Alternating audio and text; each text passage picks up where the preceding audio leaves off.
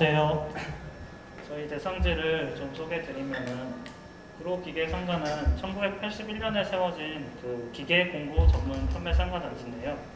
이게 세워진 배경을 좀 말씀드리면 1975년 영등포 인근 상- 성인들이 자발적으로 시작하는데 점포 걷기 운동이라는 그 운동이 이 구로기계 공구 상가, 단지의 시발점이었는데 이는 상인들이 임대료에 대한 부담을 덜기 위해서 상가 조합을 결성하고 당시 해바라기 밭이었던 지금 이 부지에 상가를 이 자발적으로 건설하여서 내 점포를 갖자는 취지에서 시작된 운동이었습니다.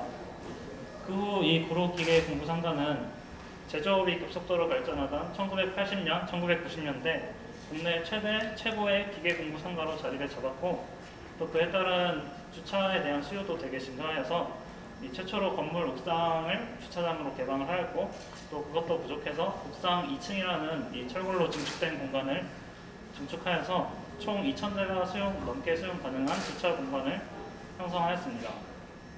하지만 근데 시대가 변함에 따라서 이 산업 구조가 변화하여서 제조업의 비율이 현저히 낮아졌고 또 판매 방식도 기존 현장에서 100% 판매하던 방식에서 온라인 유통 시스템으로 전부 시스템이 점점 바뀌어가고 있고 또한 이런 시스템에 맞춰서 이 구로역 인근에 이제 북쪽으로는 인- 영등포에는 지식산업센터 그리고 가산에는 가산 디지털 단지라는 이 국가 주도의 사업들이 조성되고 있는데 하지만 이 구로역 일대에는 아직 확고한 정체성이 없어서 없이 자리해가고 있고 또 이곳을 찾는 사람들은 현저히 줄어들고 있, 있는 상황입니다.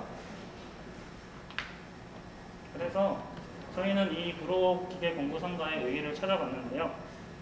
이 기존의 국가 주도로 세워지던 상가들, 뭐 예를 들어 세운상가 이런 상가들과는 달리 상인들이 다들 자발적으로 스스로 참여해서 형성된 상가 단지라는 점, 그리고 80년대 제조업 산업의 호황을 보여주는 역사적 증거로 남아 있는 점, 또 대규모 상가단지 건축의 공간적 특징이 잘 보인다는 점에서 이 구로 기계 공구 상가가 미래에도 유효한 가치를 지닌 건축 자산이라고 생각을 했습니다.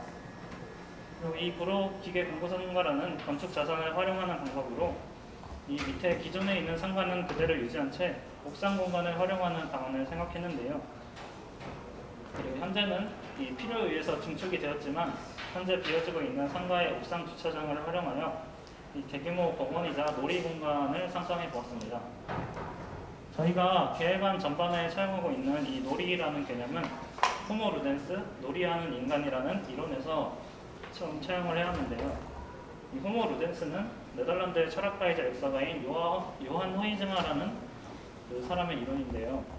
인간에게 노동을 강요하던 근대 인간상과 달리 인간의 본질은 놀이하는 인간에 가깝고 놀이라는 자발적인 창조 활동을 통해 문화가 발전해왔다는 이론입니다. 그래서 이렇게 자발적으로 형성이 되었지만 시대가 변함에 따라 쇠퇴해가는 제조업 기반의 구로공구 상가에게 필요한 키워드가 바로 이 놀이라고 생각을 했습니다.